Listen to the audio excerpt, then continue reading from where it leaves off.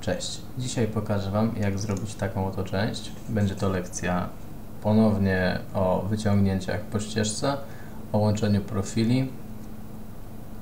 Tutaj również w środku mamy to puste, także również będziemy tutaj używali mm, shell po angielsku, a po polsku to się nazywa, a teraz sobie przypomnę,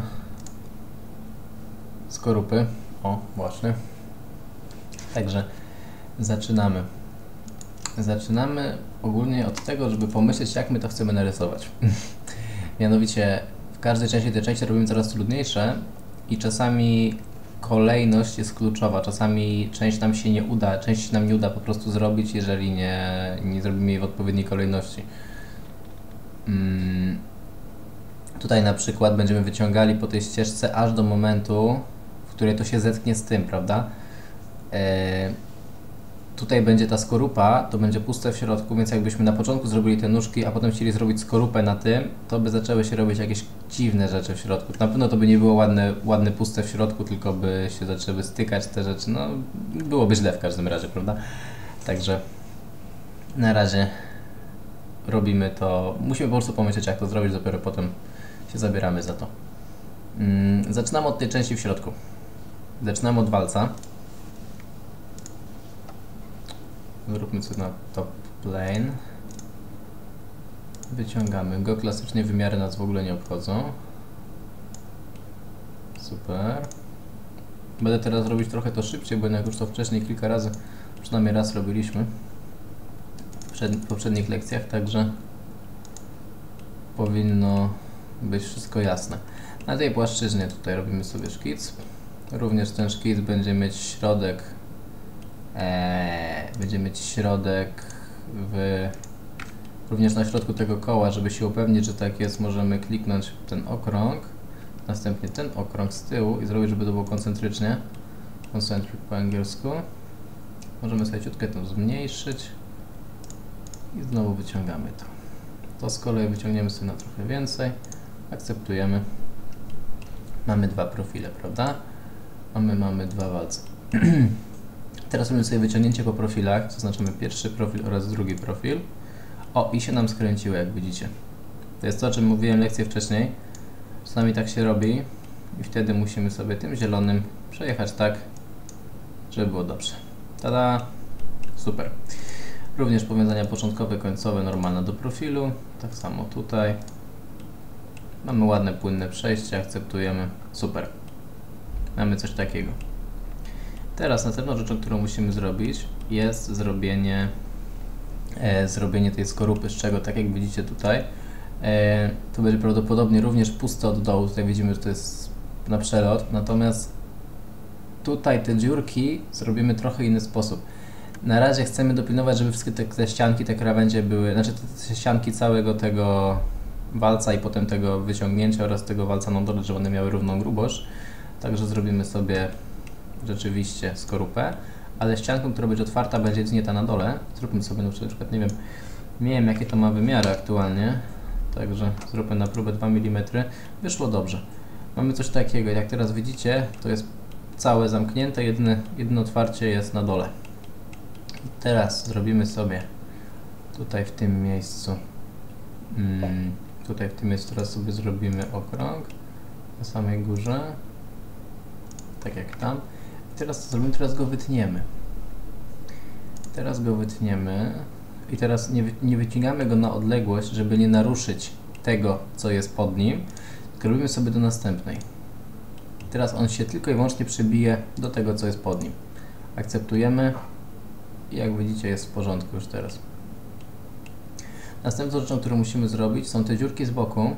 Zróbmy sobie je nie z przedniej płaszczyzny, chociaż też da się to zrobić, ale a zresztą może być z przedniej, bo ja ogólnie chciałem zrobić początkowo mm, płaszczyznę oddaloną od tego gdzieś tutaj i potem z tej płaszczyzny do tego dojechać, natomiast możemy to naszkicować w środku, nie jest to żaden problem. Naszkicujemy sobie to tutaj w tym miejscu. I teraz również kreator wycięcia. W jedną stronę to możemy wyciąć. Teraz nie ma znaczenia, czy to jest na odległość, czy to jest do następnej. Jakbyśmy zrobili do następnej, to pokaże nam się tutaj zarys, jak to będzie wyglądało. Ok, mamy wyciętą dziurkę. I teraz klasycznie musimy pokazać sobie tymczasowe osie w tym miejscu. Teraz to wycięcie na początku szyk kołowy możemy albo liniowy, jeżeli chcemy to w dół, albo kołowy, jeżeli chcemy z tego zrobić na przykład tak dużo kółek.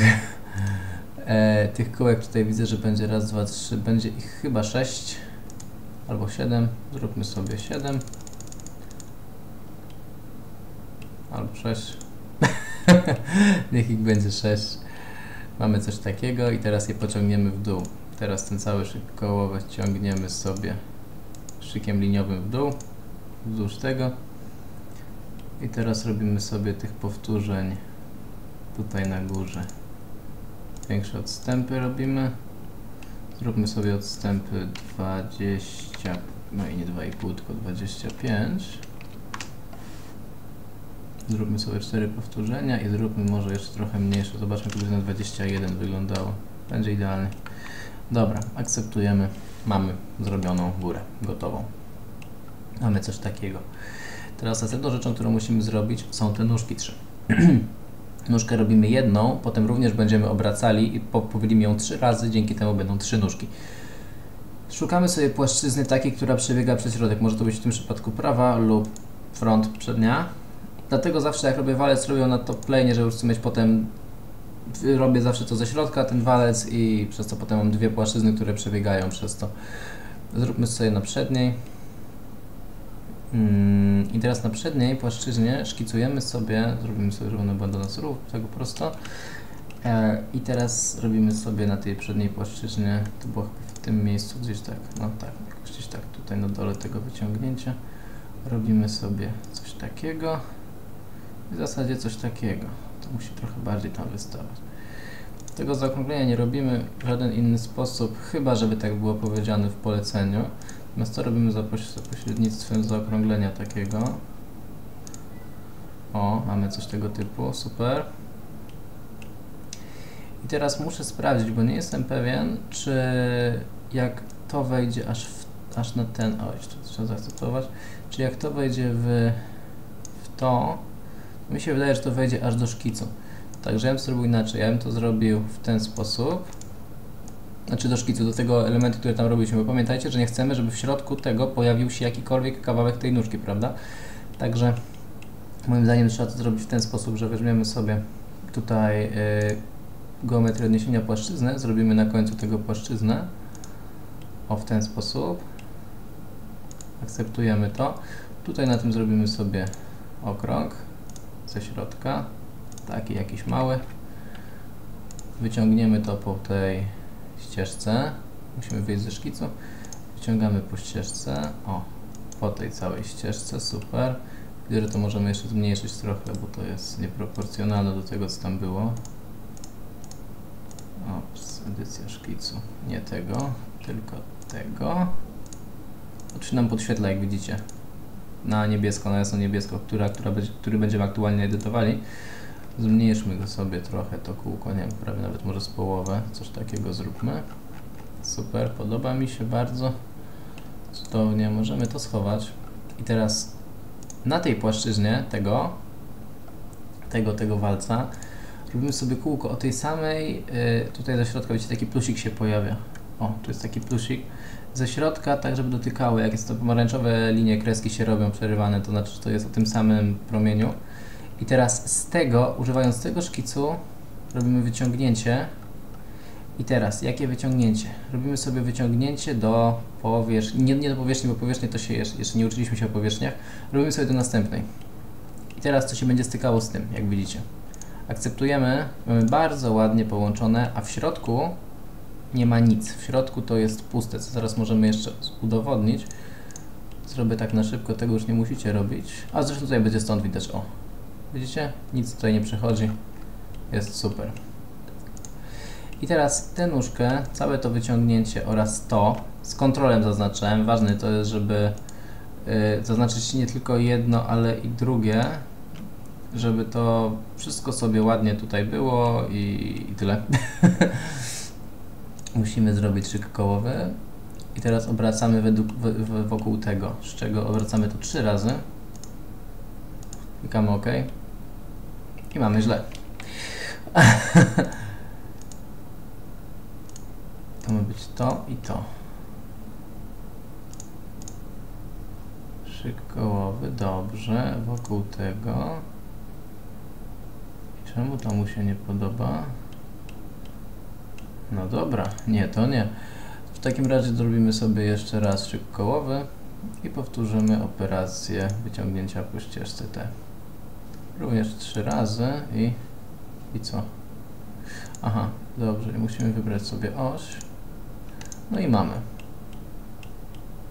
Także tutaj na przykład oś tymczasowa to jest oś tego, tego, tego tutaj zagięcia, prawda? Wyłączymy teraz te osie. O. I mamy wszystko połączone ładnie. To nie ma problemu w tym, że to tam się tak podzieliło. No i mamy gotową część. Także wszystko jest super. Zapraszam również do następnej części, w której będziemy robić spinacz. Taki mały spinacz biurowy. Mm, Tam będziemy poznawali, chociaż może nie, w następnej części zrobimy sobie szkic trójwymiarowy, a dopiero potem będzie spinacz. I Wtedy ten spinacz zrobimy na dwa sposoby, będzie pokazany jak, jak, o ile szybciej można go zrobić używając szkicu trójwymiarowego. Także na razie dziękuję. Zapraszam do następnych filmów. Cześć.